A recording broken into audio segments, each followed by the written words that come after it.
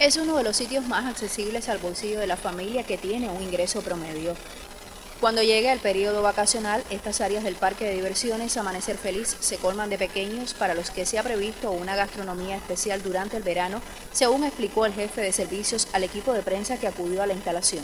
Tenemos PEI de los tres tipos, más eh, unos que compramos de, de los TCP, que le compramos, tenemos caramelo, de eso tenemos refresco, tenemos malta, tenemos pan con picadillo, con hamburguesa y esa es la parte de nosotros estatal.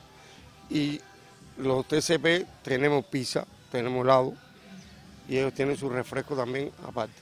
Aquí tenemos, en el área esta de aquí, tenemos lo que es la piña colada con, con el algodón y aquí tenemos el compañero del, granizado. El parque no tuvo un remozamiento en su infraestructura y permanece aún sin cambios. Tenemos los avioncitos grandes, los avioncitos chiquitos, tenemos el carrusel chiquito, tenemos los banquitos y tenemos la polivalente arriba. Eh, los pony hoy, por el problema del agua, eh, lo que es el área de ellos, no lo pudimos echar a andar. Entonces el carrusel que tenemos aquí detrás eso lo tenemos roto, tenemos el proyecto ya con los compañeros de hidráulica. Vamos a empezar ahora que nos autorizaron, ya ahora el gobernador nos autorizó traer los equipos que teníamos para el parque nuevo, para ir distribuyéndolo. Las estrellas son dos, son una de adultos y una de niños.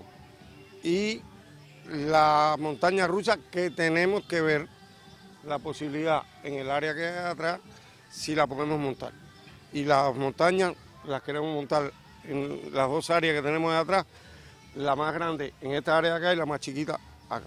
Excepto los lunes, el resto de los días inician las actividades desde las 10 de la mañana y hasta las 6 de la tarde, pero el fin de semana abren a las 9 de la mañana y concluyen los servicios a las 7 de la tarde. Mayelín del Sol, Notisur.